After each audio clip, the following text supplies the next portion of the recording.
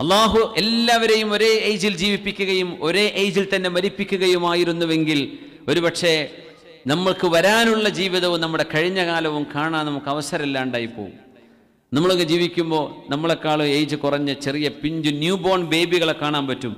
പടച്ചവനെ ഞാനും ഒരു നാൾ ഇങ്ങനെ ആയിരുന്നല്ലേ? പ്രായമുള്ള ഒരാൾ പടച്ചവനെ അള്ളാഹു എങ്ങാനും ആയുസ് വെച്ചിട്ടുണ്ടെങ്കിൽ എനിക്കും ഈ കോലത്തിലായിരിക്കും എത്താനുണ്ടാവുക. നമ്മുടെ തൊട്ട് മുമ്പും തൊട്ട് ശേഷവും നമുക്കിങ്ങനെ കാണാൻ പറ്റും നമ്മുടെ മുമ്പിൽ ഉദാഹരണങ്ങൾ. അതിനാണ് ഓർ വിവിധ ഏജുകളെ അള്ളാഹു ഒരേ സമയത്ത് ഉണ്ടാക്കണം. അള്ളാഹു വേണമെങ്കിൽ ദുന്യാവിലെ എല്ലാ മനുഷ്യരെയും ഭൂമി ഒന്ന് വലുതാക്കിയാൽ പോരെ പഠിച്ചവന് അള്ളാഹു ഭൂമി അങ്ങ് വലുതാക്കിയാൽ പോരെ? ബില്യൺ കണക്കിന് ആളുകളെ ഒരുമിപ്പിച്ച് അങ്ങോട്ട് ജനിപ്പിച്ചിട്ട് ഒരുമിപ്പിച്ചിട്ട് മരിച്ചിട്ട് നാളെ ഹിസാബും കൊടുത്ത് സ്വർഗവും നരകവും കൊടുക്കാം. അതിന് അള്ളാഹു കഴിയൂലേ? കഴിയും. പക്ഷേ നമുക്ക് നമ്മെ സംബന്ധിച്ചൊരു ബോധം വരാനാണ് ശരിക്ക് വിവിധ ഏജ് ഗ്രൂപ്പുകളെ ഒരേ സമയത്ത് നമുക്ക് കാണാൻ അവസരം ഉണ്ടാക്കി തന്നത് നാം. അള്ളാഹുവിന്റെ വലിയൊരു തൗഫീഖാണ്.